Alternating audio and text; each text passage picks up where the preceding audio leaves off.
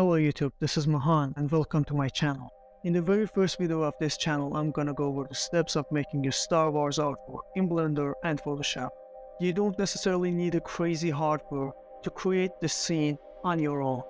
So you can follow along on any PC or laptop and recreate the scene. So without any hesitation, let's begin. Sketching your ideas.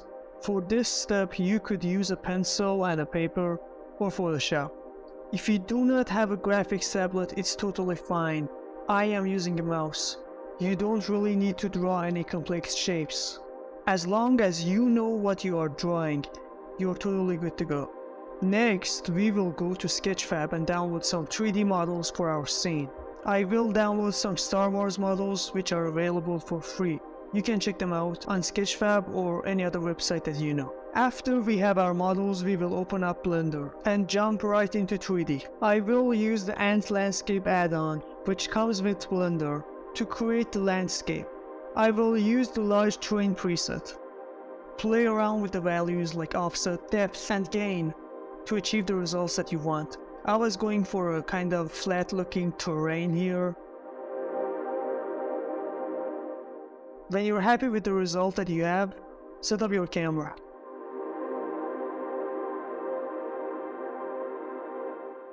Then turn on the composition guides and turn on the rule of thirds so you can use the guides in your benefit. For a composition as you see I'm using a wide aspect ratio. Next step is importing in some 3D models. I'll import a bunch of 3D rocks that I download from Quixel Megascan library, which is a vast 3D library and it's totally free and available for all of you to use. Then I will add some modifiers, like mirror modifier and simple deform modifier, and play around with the settings so I can randomize the rocks and create different variations, so I can then scatter them all around the scene.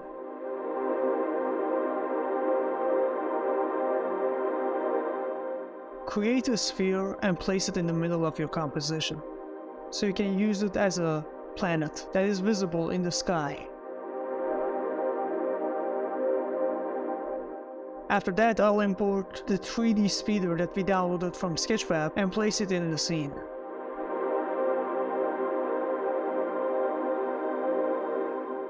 Use the landscape add-on again to create some different terrain that looks like mountains and place them in the far background.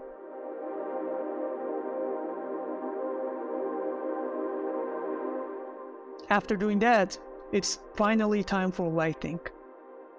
Import an HDR and play around with it. Rotate it on the Z-axis, adjust the values until you are happy with the result.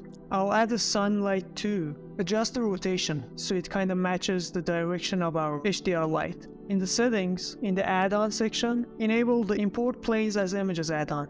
And then use it to import an image of a sky Put the sky in the background. Then create a new material for the sky. In the material tab for the sky, connect the texture to the emission and turn up the emission slightly so you get a brighter sky.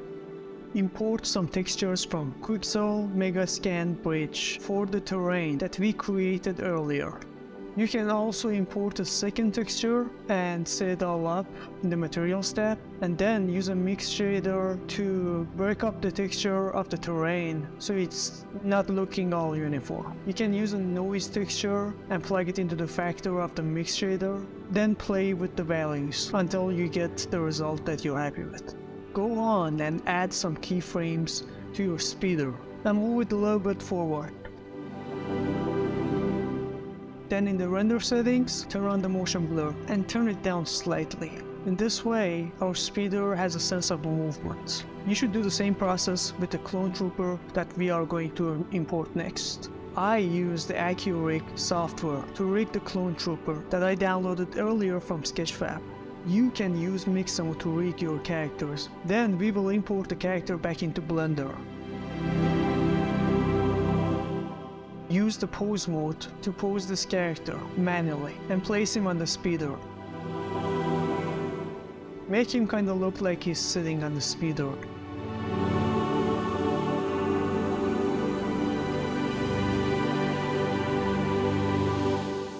Here I started adjusting the lighting a little bit to create uh, some sort of feeling of sunset lighting situation because I think that would make our piece way more dramatic. Play around with the HDR and the sunlight to achieve the result that you have in your mind. You can also add two emission shaders to the back of your speeder's engines just to make them look more sci-fi-ish, I guess. Then it is time to enable the render layers. Go on and enable the Z-Depth pass and the Mist pass. We will use these passes in the Photoshop to create atmosphere. That way we don't have to use volumetrics in our rendering. You don't really want to use volumetrics if you're rendering on a low-end PC. We want to separate the whole scene into three sections, foreground, midground, and background. Render the scene in separate layers. Now it is time to take our layers into Photoshop. I'm gonna go over some general steps. As you see, I changed the texture of the ground and also painted some texture on the top of the rocks that we have in the scene. I also tried a bunch of different sky textures until I found something that matches the scene.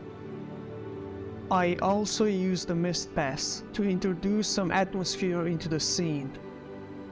After a little bit of tweaking and color grading, our final image is ready.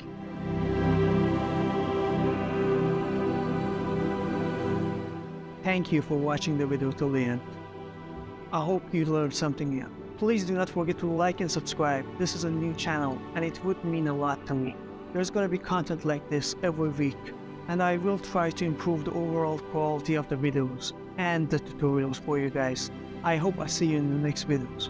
Until another tutorial, goodbye and good luck.